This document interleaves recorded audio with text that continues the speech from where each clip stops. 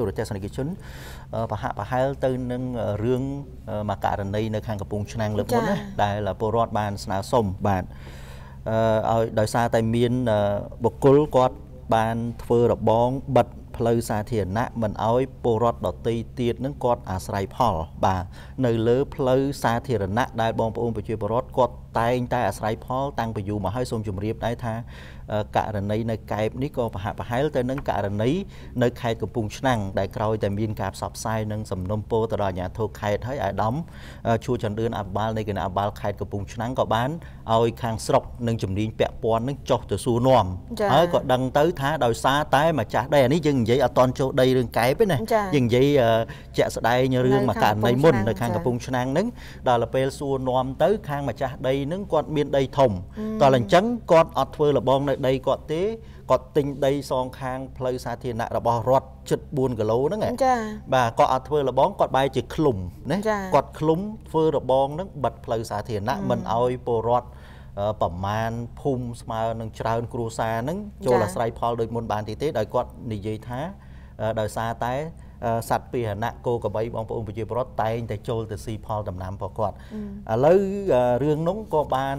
ដោះស្រាយឲ្យដែរដែលអាជ្ញាធរខេត្តកំពង់ឆ្នាំងនឹងបានឲ្យស្រុកនឹងជំនាញនឹងចុះទៅបើករបងនឹងដើម្បីឲ្យបងប្អូនប្រជាពលរដ្ឋអាស្រ័យផល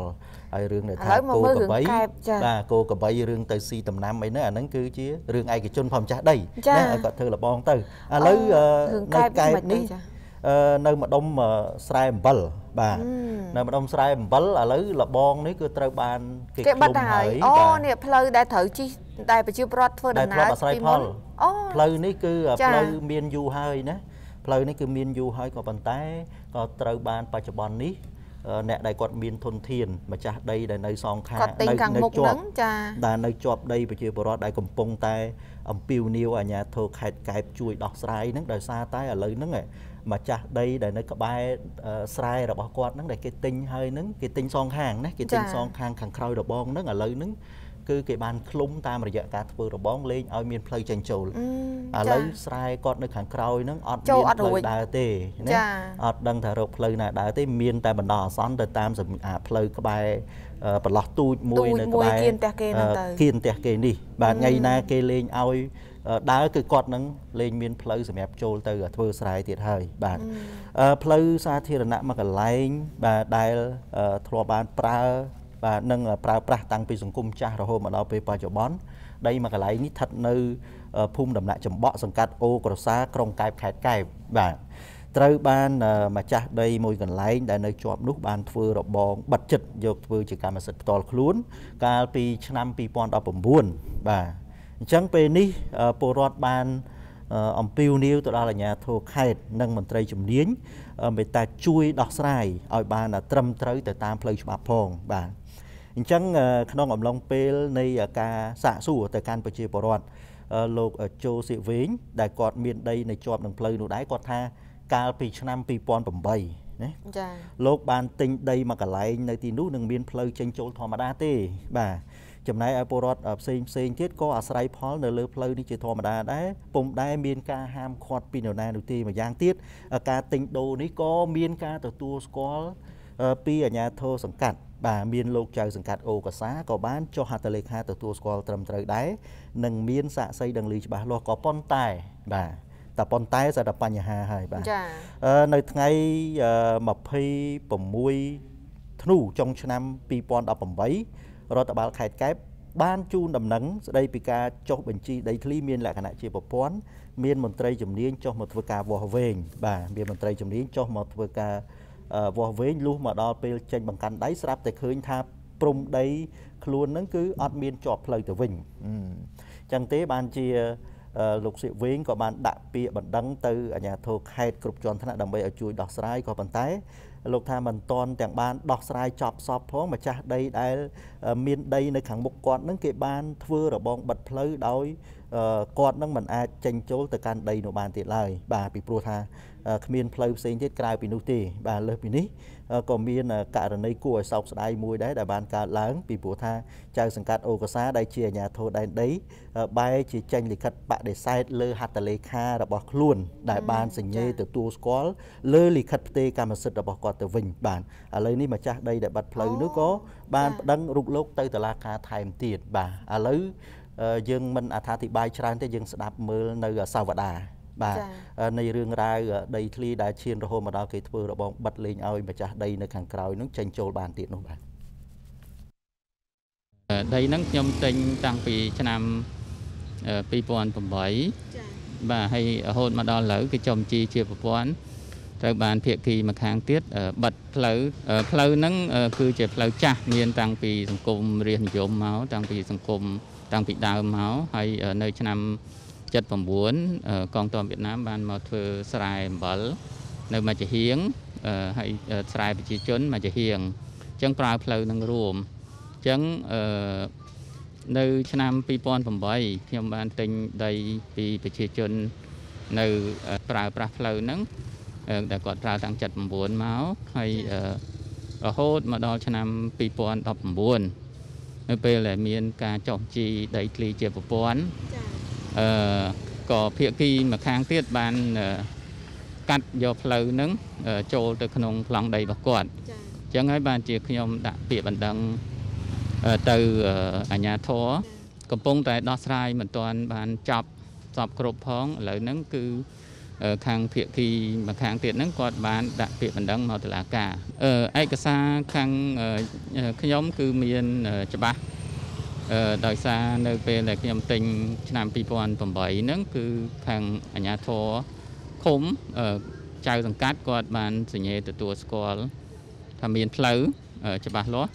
ហើយក៏មានសាកសីដឹងឮដែរជាក់ស្ដែងតាំងពីខ្ញុំទិញមកខ្ញុំចេញចូលរហូតអត់ដែលមានខាងណាមកថាផ្លូវនឹងផ្លូវរបស់គេឬក៏អីទេរហូតទៅដល់ពេលចំជីដីធ្លីជាប្រព័ន្ធនេះបាន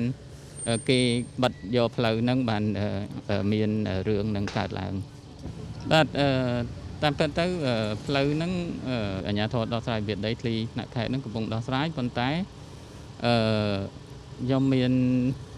ការអអន់ចិត្តជាមួយនឹងអាជ្ញាធរឃុំដែលគាត់បានធ្វើលិខិតមួយបដិសេធនឹងឯកសារដែលគាត់សញ្ញេនៅឆ្នាំ2008 គាត់ថា2008ហ្នឹងកន្លែងហ្នឹងមានផ្លូវឥឡូវហ្នឹងគាត់ទៅធ្វើលិខិតមួយបដិសេធថាអត់មានផ្លូវវិញបាទធ្វើឲ្យខ្ញុំខាតបងខាតផលប្រយោជន៍ជាច្រើនដែលអឺដូច្នេះខ្ញុំសូមសំណូមពរដល់សម្ដេចដល់ថ្នាក់ដឹកនាំមេត្តាជួយរោគយុទ្ធធរឲ្យខ្ញុំផងឲ្យយើងខ្ញុំផងហើយសូមសំណូមពរឲ្យអាជ្ញាធរទាំងថ្នាក់ស្រុកថ្នាក់ខេត្តថ្នាក់ឃុំអីហ្នឹងជួយបើកផ្លូវហ្នឹងឡើងវិញដោយសារឥឡូវហ្នឹងគេធ្វើលបងបិទផ្លូវហ្នឹងខ្ញុំមិនអាចចូលដីរបស់ខ្ញុំបានតទៅទៀតឯកសារខាងភាគីមកខាងទៀតហ្នឹងគាត់អត់ទាន់ច្បាស់លាស់ទេដោយសារដូចជាឯកសារសុំអឺកាន់កាប់ដីធ្លីឆ្នាំ1998 ឯកសារហ្នឹងអត់មានដាក់ព្រំខាងជើងទល់អីខាងត្បូងទល់អីគឺព្រំដាក់តនិតតនេទុកចោលទាំងអស់ហើយគាត់សុំឲ្យតុលាការទទួលស្គាល់ឯកសាររបស់គាត់អញ្ចឹងដូចជាមានការដូចមិនប្រក្រតីមួយចំនួនហើយអញ្ចឹងករណីនេះអឺលោកផារិតយើងឃើញថាគាត់បានបញ្ជាក់ថាដូចជារឿងនេះ តាមពិតទៅមែនតើ2008ចា2008គាត់បានទិញធ្វើការផ្ទេរហ្នឹងក៏មានលោកចៅសង្កាត់ណាចៅសង្កាត់អូកាសាហ្នឹងលោកជេងគងចុះហត្ថលេខាហើយក៏ដឹងឮទទួលស្គាល់ត្រឹមត្រូវដែរក៏ប៉ុន្តែស្រាប់តែ2018គាត់ក៏បាននារីកណាបដិសេធលោកផារិតនាងខ្ញុំបានមើលនឹងលិខិតហ្នឹងលិខិតបដិសេធហ្នឹងចុះថ្ងៃ28មករា2020 ចានោះដូចយើងបានមកខាអញ្ចឹងហើយសារតែមូលហេតុដែលចៅសង្កាត់គាត់ថាបដិសេធគាត់ថា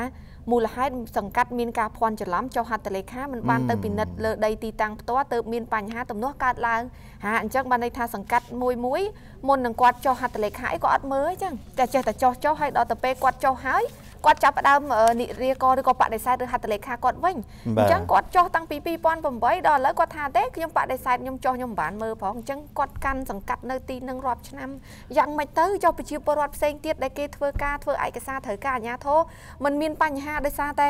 ឲ្យតែសញ្ញេឲ្យលុបចោលសញ្ញេឲ្យលុបចោលអញ្ចឹងតែម្ដងឬក៏យ៉ាងម៉េចកន្លែងហ្នឹងឆ្ងល់ណានេះឆ្ងល់មែនតែប៉ុន្តែយើងចង់ដឹងថាផ្លូវហ្នឹងវាមានតាំងពីពេលណាមកចាឥឡូវចេះយើងស្ដាប់មើលម្ចាស់ដីដើមដែរយើងក៏បានចុះទៅជួបម្ចាស់ដីដើមដែលគាត់រៀបរាប់ថាដីរបស់គាត់ខាងលើគាត់បានកាន់កាប់នឹងអាស្រ័យផលយូរឆ្នាំហើយនឹងអត់ដែលមានរឿងអីរកម្មរកុសប្រទាំងប្រទើសជាមួយអ្នកផ្សេងទេក៏ប៉ុន្តែចាប់តាំងពីគាត់បានលក់ទៅឲ្យឈ្មោះសៀកហេងខាងលើឬថា មានរឿងជាមួយអ្នកនៅទល់មុខនឹងរហូតដោយសារតែអ្នកនៅខាងមុខនឹងគេបានធ្វើប្លង់ហើយធ្វើបើធ្វើផ្លូវនឹងបិទយកតែម្ដងបាទម្ចាស់ដីដើមគាត់បញ្ជាក់ដែរថាផ្លូវនេះគឺមានពិតប្រកបហើយបាទហើយមានអ្នកភូមិច្រើនណាស់ដែលអាស្រ័យផលលើផ្លូវនេះប៉ុន្តែមកដល់ពេលនេះបែរជាត្រូវគេយកធ្វើជាកម្មសិទ្ធិហើយចៅសង្កាត់បែរជាធ្វើមិនដឹងមិនលឺទៅវិញបាទអត់ទេដីនេះវា របស់ខ្ញុំហ្មងអាដីលក់ឲ្យគាត់ហ្នឹងបាទហ្នឹងមុនមើលយើងលក់2008មក2008ទៅអាមកមកលក់ឲ្យគាត់ហ្នឹងមានបញ្ហាហ្មងក៏ពីមុនមកអត់មានបញ្ហាអីសោះហើយផ្លូវមិនមែនទឹកតែតែខ្ញុំធ្វើទេ តាំងពីមុនខ្ញុំធ្វើតាំងពីបរមបរានមកមានផ្លូវចូលមកមកដល់ស្រែហ្នឹងអស់ហើយឥឡូវគាត់ថាអត់ផ្លូវឥឡូវយើងដូចជាមិនយល់ដែរផ្លូវទៅស្រែអំបិលហ្នឹង គឺយើងមិនដឹងជាប្រហែលគ្រួសារវាច្រើនបាទវាច្រើនឥឡូវសួរជុំជុំវិញហ្នឹងមើលហ្នឹងហើយយើងសួរជុំវិញតែពីមុនមកមានផ្លូវឲ្យអត់សួរតែប៉ុណ្្នឹងហ្នឹងហើយបើគេថាអត់ផ្លូវអាហ្នឹងវាដូចជាអត់ត្រូវបាទហើយគាត់ហ្នឹងទៅទិញអាដីហ្នឹងក្រោយខ្ញុំធ្វើទេហើយហើយអាឡែងភូមិមេភូមិយើងហ្នឹងក៏លក់ដីហ្នឹងឲ្យ47ដែរដី47លក់ឲ្យគាត់តាឃុំគេថាម៉េចថាអត់អត់ដឹងអត់មានផ្លូវ វាអត់ត្រូវវាទៅដល់ពេលគាត់មកវាស់អាប្លង់រឹងហ្នឹងចាប់តទៅវាស់ខ្ញុំក៏អត់បានតាមទៅវាស់ដែរដល់គេថាអាពងបងហ្នឹងគាត់អឺសូយោដីគេវាស់ហើយហើយគេថាអញ្ចឹងណានៅឲ្យមកកណាត់ជើងហើយក៏ខ្ញុំថាបើគេវាស់ហើយយើងមិនតាមទៅនោះទេដល់តែចេញប្លង់មកទៅថាអត់មានផ្លូវអញ្ចឹងបានរឿងនេះវាកើតឡើងអញ្ចឹងណា អឺដល់អញ្ចឹងអស់សង្ឃឹមដឹងថាមិនមិនអញ្ចឹងខ្ញុំថារឿងនេះទុកឲ្យអាជ្ញាធរគេអ្នកដោះស្រាយទៅព្រោះអីដីខ្ញុំលក់បកលដីឲ្យគាត់ហើយវាអត់ធ្វើត្រូវធ្វើអញ្ចឹងវាមិនដល់ជួយដឹងលឺដែរបើអត់ជួយដឹងលឺអញ្ចឹងគេពឹងអីអាជ្ញាធរពឹងអាជ្ញាធរហ្នឹងហើយដែលអ្នកគ្រប់គ្រងកន្លែងហ្នឹងហើយដល់ឥឡូវអ្នកគ្រប់គ្រងហ្នឹងធ្វើអត់ដឹងអត់លឺហើយស្កល2008ហ្នឹងគ្មានបងប្អូនណាចំទាស់ទេឃើញទេ អឺអញ្ចឹងវាបានរឿងវាដាច់ស្រេចទៅហើយហើយដល់ពេលវាស់ដីនេះចាប់រឿងនេះកើតឡើងអឺហើយបើសិនជាលក់ភ្លាមមានកើតឡើងភ្លាមអាហ្នឹងវាអត់មានអីតោះហើយគេហើយឥឡូវទៅដល់2008មកហើយទៅកើតរឿងហ្នឹងបាទអញ្ចឹងហើយធ្វើមុននឹង3ឆ្នាំ2ឆ្នាំទៀតហើយហើយវាអត់មានរឿងកើតឡើងផង2ឆ្នាំហើយបាទធ្វើលិខិតប្លង់ហ្នឹងហើយដល់រឿងប្លង់រឿងទៀមទារឿងអត់ផ្លូវ បិទផ្លូវដល់អញ្ចឹងមក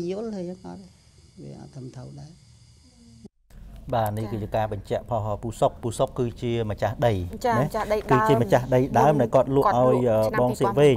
បាទឆ្នាំ2008គាត់លក់ឲ្យបងសៀកវែងដល់គាត់ថាកាលនៅជាកម្មសិទ្ធិរបស់គាត់ពូច័ន្ទសុកថាដូចអត់ដែលមានតំណោះអីទេហើយផ្លូវហ្នឹងបានន័យថាជាធ្វើដំណើរបាទធ្វើដំណើរចេញចូលរហូតហើយលក់ហើយនឹងគាត់ធ្វើរហូតដែរមិនតែមកម្ចាស់ទេណានៅតំបន់នេះគឺមានច្រើនម្ចាស់អញ្ចឹងសម្រាប់ ផោះតាងឬក៏សាក់សីដែលគាត់ដឹងឮសួរតែប្រជាពលរដ្ឋទៅណាថាពីមុនផ្លូវនេះអាចធ្វើដំណើរបានឬអត់នោះបាទអញ្ចឹងបន្ទាប់ពីមានការលើកឡើងពីម្ចាស់ដី គឺលោកពូច័ន្ទសុកហើយយើងក៏បានព្យាយាមស្វែងរកការភ្ជាប់តំណែងតំណងទៅកាន់ភាគីបបាទមួយខាងទៀតដែលពលរដ្ឋថា បានបិទផ្លូវមិនឲ្យពួកគាត់ចេញចូលទៅកាន់ដីរបស់ពួកគាត់ក៏ប៉ុន្តែយើងមិនទាន់អាចតំណាក់តំណងសុំការបកស្រាយនៅឡើយនោះទេហើយលោកពូចៅសង្កាត់អូកាសាដែលធ្លាប់បានចុះហត្ថលេខាទទួលស្គាល់ដឹងឮបាទរវាងការទិញលក់របស់ពូច័ន្ទសុកជាមួយនឹងលោកសៀកវែងហ្នឹងក៏គាត់បានចុះហត្ថលេខាទទួលស្គាល់ក៏ប៉ុន្តែក្រោយមកគាត់ថា គាត់សុំបដិសេធលិខិតដែលគាត់ទទួលស្គាល់នឹងវិញដោយសារតែគាត់ចៅសង្កាត់នឹងមានការយល់ច្រឡំអញ្ចឹងក៏អត់ទាន់បានបកស្រាយឲ្យច្បាស់បន្ថែមទៀតដែរតែរឿងនេះក៏ត្រូវបានអាដាមសងពិសិដ្ឋអភិបាលនៃគណៈអភិបាលខេត្តកែបក៏បញ្ជាក់ដែរថាករណីវិវាទខាងលើនេះលោកបានឲ្យក្រុមការងារចុះទៅដោះស្រាយម្ដងហើយដែរបាទអឺ តែនឹងខិតខំសម្របសម្រួលបន្តទៀតអត់តន់ដោះស្រាយចប់សពគ្រប់ទេបាទអាដាមអាបាល់ខេត្តថាបើដីខាងលើនេះគឺជាដីស្រែអំពិលគឺมันអាចធ្វើកម្មសិទ្ធិបានទេណាបាទជាដីជាកម្មសិទ្ធិរបស់ក្រសួងឧស្សាហកម្មនិងសិប្បកម្មបាទអត់មានប្រជាពលរដ្ឋណាអាចធ្វើប្លង់កម្មសិទ្ធិយកបាននោះទេហើយម្យ៉ាងវិញទៀតក៏មិនមែនជាកាតព្វកិច្ចរបស់តុលាការដែរតែជាការសម្របសម្រួលរបស់អាជ្ញាធរមូលដ្ឋានដោយឡែក រឿងករណីដែលលោកចៅសង្កាត់អូក្រសាបានចេញលិខិតបដិសេធហត្ថលេខារបស់ខ្លួនឯងនោះអាដាមអភិបាលខេត្តកែបក៏នឹងពិនិត្យមើលឯកសារតិចសិនដីស្រែអំបិលកន្លែងនេះគឺបានដោះស្រាយសម្រាប់មូលនេះម្ដងហើយឥឡូវនៅដូចជាកត់ហៅម្ដងទៀតតាមធម្មតាខ្ញុំច្រើនរុញឲ្យអាជ្ញាធរគេដោះស្រាយមួយជំនាញសិនបាទបាទមួយជំនាញសិនហើយបានរបាយការណ៍មកជាក់លាក់នឹងយើងមានការបន្តទៀត បាទតែទូយ៉ាងណាក៏ដោយគឺខ្ញុំនៅទទួលយកទៅតែអត់ស្រាយសម្រាប់ទទួលនេះគឺពាក់ព័ន្ធនឹងជាប្រដ្ឋនិងជាប្រដ្ឋបាទហើយដីស្រែអំបិលនេះក៏ជាមិនទាន់ម្ចាស់កម្មសិទ្ធិដីស្រែអំបិលទៅទាំងឯងបាទបាទគឺបានជាកម្មសិទ្ធិនៃរបស់ឯកជនទេបាទដីស្រែអំបិលគឺជាដីហៅថាទឹកក្នុងក្រមក្រសួងឧស្សាហកម្មសិប្បកម្មដីហ្នឹងមានមានសិទ្ធិធ្វើប្លង់ទេឬមួយយ៉ាងណាអីដល់ដីបើដីធ្វើអំបិលគឺដីធ្វើអំបិលបាទបាទប្រើប្រាស់ អំបិលទេមិនអាចចេញប្លង់ជាប្រព័ន្ធឲ្យបានទេបាទបាទចេញប្លង់ប្រព័ន្ធឲ្យវាទៅជាដីនឹងការប្រើប្រាស់ឯកជនប្រាច់គ្រប់ចង់សាងសង់ចង់អីក៏បានតែបើដីខ្សែអំបិលគឺនៅដីខ្សែអំបិលសិទ្ធិក្រោមការប្រមូលឧស្សាហកម្មជាសាសនោះបាទហើយចៅសង្កាត់នោះផងដែរនៅពេលដែលយើងសួរគាត់ហេតុអីបានគាត់បដិសេធលិខិតដែលគាត់ទិញដូរពីមុនមកហ្នឹងនិយាយមកចឹងយើងត្រូវឯកសារណា បាទបាទព្រោះទៅណាយើងមិនអាចទៅខាងណានេះខាងនេះខុសខាងនោះត្រូវឬខាងនោះត្រូវខាងនេះយើងធ្វើមិនឲ្យវាមានការឯកសារពាក់ព័ន្ធអីសមស្របហើយយើងក្រុមការងារយើងសម្រាប់រួលបន្តទៀតបាទហើយដល់ម៉ាត់ដឹងថារឿងនេះដល់តុលាការហើយបច្ចុប្បន្នបាទខណ្ឌស្អែកគេចុះមកបាទបាទបើដីមានកម្មសិទ្ធិមានប្លង់ទាំងធំតាមិនទាន់មិនទាន់មានផងឯដល់កំពុងអត់អត់ប្លង់រឿងហ្នឹងគឺជាសមត្ថកិច្ចគឺការវិនិច្ឆ័យរបស់តុលាការទៅគឺខាងទូគាត់ចេញមកអញ្ចឹងហើយបាទបាទ ឧទាហរណ៍ដីនឹងមិនទាន់មានប្លង់រឿងគាត់ថានេះជាសមត្ថកិច្ចរបស់គណៈកម្មការដីធ្លីរបស់ខេត្តក្នុងស្រុកហ្នឹងរុញមកបាទអាហ្នឹងគឺការចេញស្ដីសម្រាប់ពីកអធិការសាខាពីឬក៏អធិការរបស់តឡាបាទនេះគឺជាការបញ្ជាក់បន្ថែមពីអាដាមសំពិសិដ្ឋអភិបាលនៃគណៈអបាលខេត្តកែបអញ្ចឹងរឿងនេះអាដាមអបាលខេត្តថាសម្រាប់ សេចក្តីជូនដំណឹងរបស់សាលាដំបងខេត្តកំពតគឺតបតាមការទៀមទារបស់ដើមចោតឬក៏អ្នកដែលបិទផ្លូវខាងលើគឺបានកោះអញ្ជើញខាងចុងចោតឬឈ្មោះចូលសៀកវែងបានឲ្យចុះទៅពិនិត្យទីតាំងជាក់ស្ដែងរួមគ្នានៅព្រឹកថ្ងៃទី15ខែមករាស្អែកនេះចាបាទតឡាការតឡាការបានជូនដំណឹងរឿងនេះមានការងើងឆ្ងល់ច្រើនណាលោកផារិតបាទងើងឆ្ងល់ត្រង់ថាភាគីម្ខាងទៀតបាទភាគីម្ខាងទៀតដែលសុំ ដែលគាត់ចេញលិខិតសុំឲ្យតុលាការទទួលស្គាល់ណាទទួលស្គាល់នោះគឺត្រូវបានម្ចាស់ដីដែលគាត់មានដីតែអត់មានផ្លូវដើរហ្នឹងគាត់បញ្ជាក់ថាហាក់ពុំមានលក្ខណៈគ្រប់គ្រាន់នោះទេដោយសារតែមានលក្ខណៈមិនប្រក្រតីខ្លះពីព្រោះថាឯកសារនោះគឺជាឯកសារដែលកាន់កាប់ដីធ្លីឆ្នាំ98ហើយក៏អត់មានការបញ្ជាក់ដែរព្រំជើងត្បូងលេខកើតហ្នឹងគឺ ពាក់ព័ន្ធជាមួយអ្នកណាខ្លះវាអត់ឃើញមានអញ្ចឹងណាមានចាន័យថាឯកសាររបស់គាត់មិនច្បាស់លាស់ទី1ទី2បើតាមភាសារបស់ឯកឧត្តមអាបាខាត់បានបញ្ជាក់ហ្នឹងគាត់ថាដូចម្ដុំនេះគាត់ថាគាត់ទិញស្រែអំបិលម្ដុំនឹងចិត្តអស់ណាប៉ុន្តែអឺទូទៅគឺដីស្រែអំបិលនេះអត់មានត្រូវលក់ទេចាមួយទៀតហើយឲ្យតន្ទឹមនឹងនោះផងដែរពាក់ព័ន្ធទៅនឹងប្លង់ចាឥឡូវនេះតំបន់នេះអត់ទាន់បានចេញជាប្លង់ដឹងទេប៉ុន្តែរឿងនេះបែរជាគាត់ទៅប្តឹងទៅតុលាការហើយតុលាការទទួលរឿងហ្នឹងទៀត ទទួលរឿងនឹងទៀតរហូតដល់មានការកោះហៅសាកសួរហើយកាលពីកន្លងទៅហើយរហូតដល់ស្អែកនេះថាដូចជាអឺនឹងមានតែការចោះទៅពិនិត្យមើលទីតាំងនឹងទៀត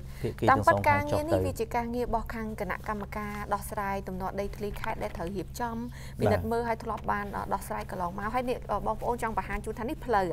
ផ្លូវដែលត្រូវធ្វើដំណើរឆ្លងកាត់ទៅឬគាត់ទៅបងប្អូនផ្សេងផ្សេងគាត់ទៅធ្វើស្រែអំបិលគាត់ទៅធ្វើស្រែធ្វើអីហ្នឹងបានបិទហើយហើយឥឡូវគាត់ថាឲ្យមកចូលតាមនេះតាមនេះដីរបស់គេទេហើយឥឡូវគាត់បិទចិត្តលបងគាត់ចិត្តអញ្ចឹងហើយគាត់ចាក់សោពីមុខទៀតអញ្ចឹងម្ចាស់ដីខាងក្រោយគាត់ចូលអត់រួចហើយនេះ គាត់ដើរកាត់នេះតាមតាមតាមផ្លូវភ្លឺដីលើរបស់គេដីស្រែរបស់គេទេហើយទៅដល់ក្រោយទៀតលបងបិទចិត្តទៀតអញ្ចឹងម្ចាស់ដីហ្នឹងគាត់ចូលអត់រួចមានអាជីវហោះចូលទេចាំពីព្រោះថាឥឡូវធ្វើមិនបើគេបិទអស់ហើយយើងនិយាយសាមញ្ញឲ្យអាក្រក់ស្ដាប់ចាស់ថាមានតែជីវហោះដោយសារអីអឺគាត់ចោះតាមណាឥឡូវចូលទៅតាមណាហើយឲ្យតែមានថវិកាគឺគាត់ទិញយកជុំវិញហ្នឹងហើយបិទយកផ្លូវហ្នឹងតែម្ដងឬក៏យ៉ាងម៉េចអញ្ចឹងបានយើងចង់បញ្ជាក់ជូនថា ពាក់ព័ន្ធទៅនឹងករណីនេះមានការលើកឡើងសំណុំពីសំណុំពរពីប្រជាពលរដ្ឋដែលពួកគាត់ថារងភាពនៅអយុធធរដោយមាននៅការបិទផ្លូវដែលគាត់មិនអាចចូលទៅផ្នែកខាងក្នុងបានហើយក្រោយពីពេលបិទផ្លូវនេះធ្វើឲ្យខកខាន ទៅដល់មុខរបររបស់គាត់ដីរបស់គាត់ដែលត្រូវធ្វើនៅខាងក្រោយហ្នឹងគឺគាត់ធ្វើស្រែចាឥឡូវនេះដោយសារបិទទៅចូលទៅមើលដីអត់កើតចូលទៅធ្វើស្រែក៏អត់កើតខកខានមិនបានធ្វើស្រែចូលមួយឆ្នាំជាង7ឆ្នាំហើយហើយពាក់ព័ន្ធទៅនឹងចៅសង្កាត់នេះខ្ញុំចង់ជំរាបជូនដែរថាចៅសង្កាត់ធ្លាប់បានទទួលស្គាល់ចុះហត្ថលេខានៅលើផ្លូវនឹងដីនឹងអាស្រ័យផលរបស់បងប្អូនប្រជាពលរដ្ឋក៏ដូចជាមាននៅការទិញលក់ចាដោយចុះហត្ថលេខាកាលពីឆ្នាំ2008ប៉ុន្តែបែរជាខែមករាឆ្នាំ2020ចុះហត្ថលេខាថាបដិសេធទៅលើលិខិតនោះទៅវិញដោយខ្លួនមិនបានមើលមិនបានចុះទៅជាក់ស្ដែងអញ្ចឹងរឿងនេះគឺមានការងើងឆ្ងល់និងដាក់ទៅសំណួរជាច្រើនថាអឺថាតើឲ្យតែមានទ្រព្យសម្បត្តិទិញដីក្បែរនឹងហើយពាត់លបងយកបានតែទាំងអស់អញ្ចឹងតែម្ដងឬក៏យ៉ាងម៉េចហើយទីតាំងនេះជាផ្លូវដែលធ្លាប់ធ្វើដំណើរឆ្លងកាត់ហេតុអីបានមកដល់ម៉ោងនេះថាអត់មានផ្លូវទៅវិញចាអញ្ចឹងអឺចាំមើលស្អែកស្អែកខាង សាលាដំបូងហ្នឹងក៏មានការហៅភិក្ខីទាំងសងខាងចុះទៅពិនិត្យជាក់ស្ដែងម្ដងទៀតបាទហើយដោយដល់អាបាលខេត្តកែបបានបញ្ជាក់អញ្ចឹងថា រឿងនេះភាគច្រើនគឺលោកចង់ឲ្យសម្របសម្រួលនៅមូលដ្ឋានជាគោលការណ៍លោក ભાર តអត់ទាន់មានប្លង់រឹងគឺត្រូវតែថ្នាក់មូលដ្ឋានគេអត់អាចចូលដល់តុលាការលឿនពេកទេចា៎អញ្ចឹងចាំមើលថ្ងៃស្អែកឲ្យបានលទ្ធផលវិវត្តយ៉ាងណានោះយើងបន្តផ្សាយជូនដល់ប្រិមត្តទូរទស្សនិកជនអ្វីដែលពីកម្មវិធីលើកយកមកផ្សាយជូននេះគឺចង់ ធ្វើម៉េចគេថាឲ្យមានភាពឈ្នះឈ្នះទាំងសងខាងណាកុំឲ្យអ្នកដែលគាត់មានលទ្ធភាពនឹងគាត់មានអធិភាពជាងបងប្អូនប្រជាពលរដ្ឋហើយបងប្អូនប្រជាពលរដ្ឋនឹងក៏មិនអាចទៀមទាអ្វីឲ្យវាលើសពីច្បាប់បាននោះដែរអញ្ចឹងធ្វើម៉េចគេថាសម្របសម្រួលឲ្យបានឈ្នះឈ្នះទាំងអស់គ្នាប្រជាពលរដ្ឋលោកមាននៅតែមានផ្លូវ